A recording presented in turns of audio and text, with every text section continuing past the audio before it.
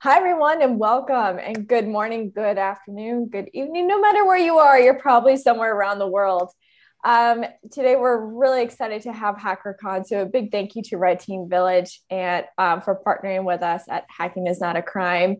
Today's day is totally dedicated to the entire hacker community, but also those that are interested in helping out the hacker community. We have talks about how to talk to the press when you find a vulnerability. We have talks on vulnerability disclosure, of course, as well, because it wouldn't be a good hacker rights conference without that, to be honest.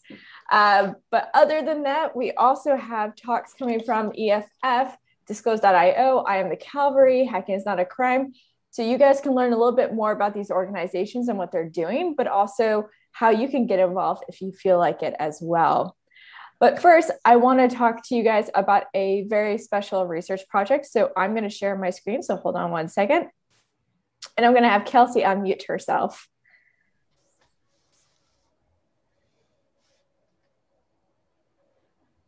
All right.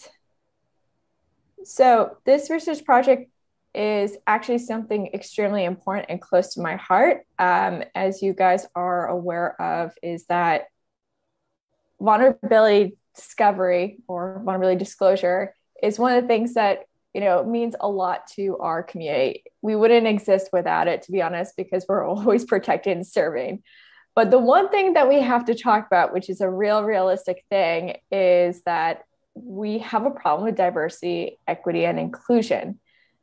And this is why it's important to have research. We have statistics about of low rates and everything, um, but we need to go deeper than that. So this is a research project that's bought, um, brought to you by these players that you see on the screen. Um, Kelsey, do you want to do a quick overview of the the main players of this research project? Um, sure, yeah. So um, SP2 is actually housed at the University of Maryland and the Maryland Cybersecurity Center, and it is the group of which I am a part of.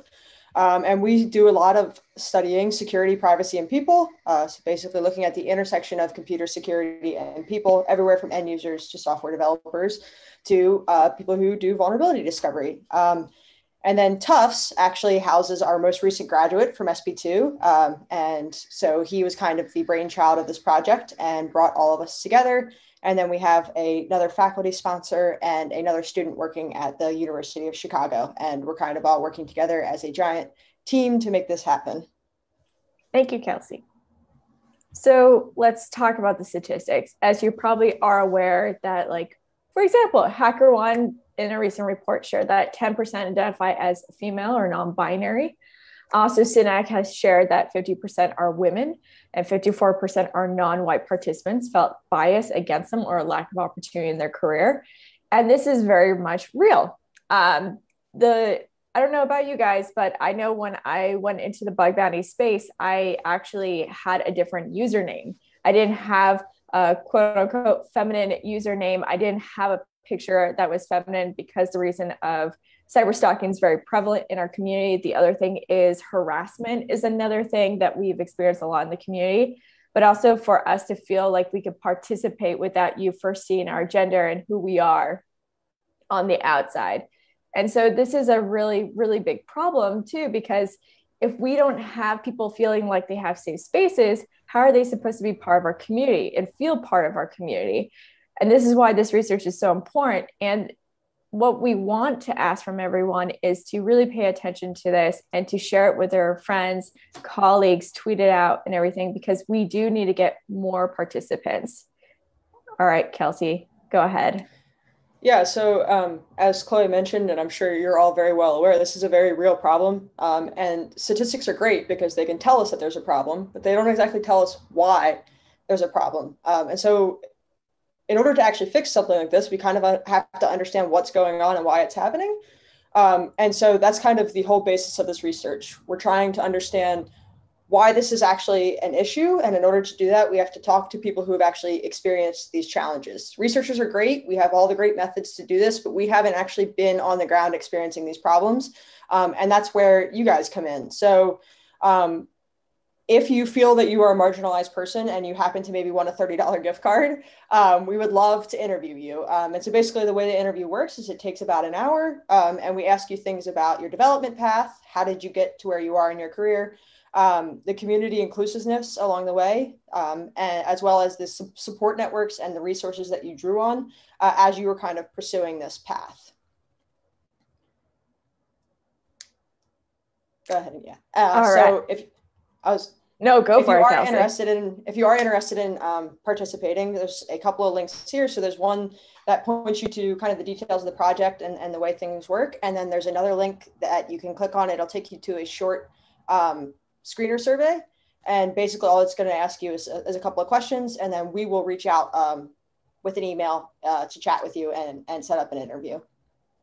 So yeah, take a screenshot of this, tweet it out. We need to get more participants. And it's like I said, it is very vital to have this research. I don't know if anyone really knows, but uh, back in 2018, Bugcrowd came out with a report saying that 4% of their hunters on their site basically identify as a woman. And this was one of the reasons that led to creating Women Hackers was because that statistic is so sad um, in so many ways. I mean, you have 50, 50%, like 50% women, and yet they can't it doesn't feel like we're doing enough to welcome them and have an inclusive environment but it's not just about women. It's also those that are marginalized as well is that we need to become a safer environment. And the only way we're going to learn how to have safer environments is hearing people's personal stories and experiences so then we're able to actually understand it in in further depth. Then we can make changes within our community to make sure that we incorporate more um, inclusivity so that we can be a better community altogether. So please do take a picture of this, uh, share it, tweet it out. It is so important that we get more participants, and it'd be great for our community to know that we're taking the next steps to making more inclusive environment for everyone. Anything else, Kelsey? Nope, that's great. Thank you. I just want to thank everyone for taking the time to uh, listen to our small small spiel, and and uh, I hope you guys have a great rest of your day. Excellent. Thank you, everyone. Thank you, Kelsey.